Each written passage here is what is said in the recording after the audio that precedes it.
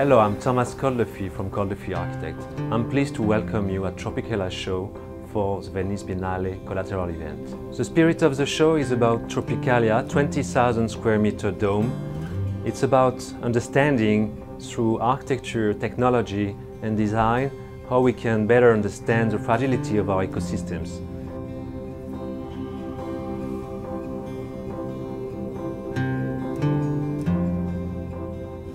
Tropicalia will be located on the Opal Coast, north part of France.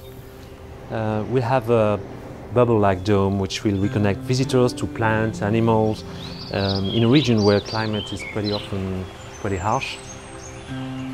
Tropicalia will not just be a destination or stopover, but it's really a place open to local community all year long and will integrate like cultural programs, uh, learning, participating to the, to the region dynamic of uh, a new ecosystem.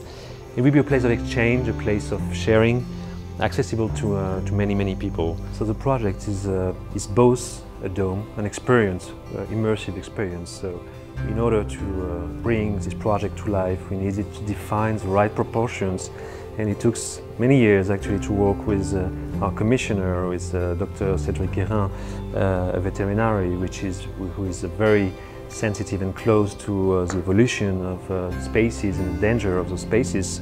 So he wanted to uh, conceive a space that is both a space for exploration but also uh, a place where uh, people can come, study, uh, stay. So we will have residences, we will have auditorium.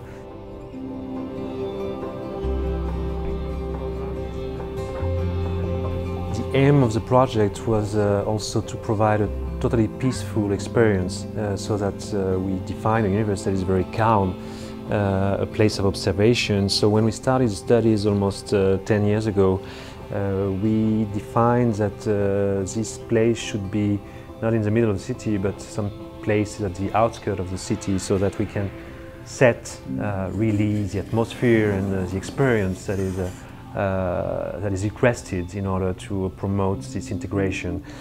And of course, in order to uh, provide maximum uh, light and natural light into the space, uh, we created this uh, very translucent uh, uh, capsule that is providing the shelter for this ecosystem.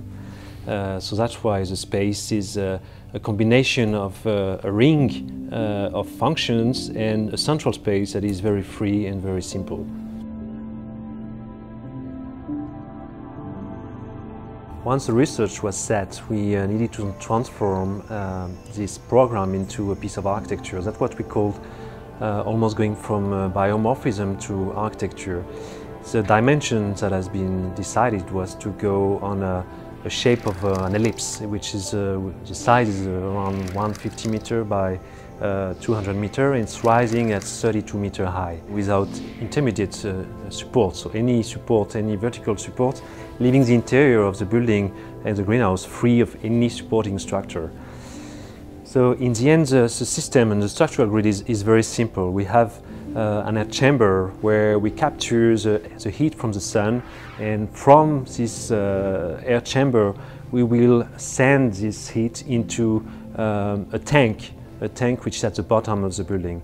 This tank will be almost like a, a natural radiator for the entire building and also have some extra heat that we will provide for the, the surrounding equipment, the surrounding uh, future business. So in the end, the promotion of uh, Tropicalia is more than a building, it's something that is serving another purpose, is uh, to provide an architecture that is uh, something else, something that is open to uh, work with the neighbors. So Tropicalia will be a positive energy building. It will be also more than that, it will be an energy producer. So it goes beyond the idea of uh, a building that is just a building. It's a building that is also playing a role for its surrounding community. Uh, it's a place of uh, preservation, it's a place of education, but it's a place also of innovation.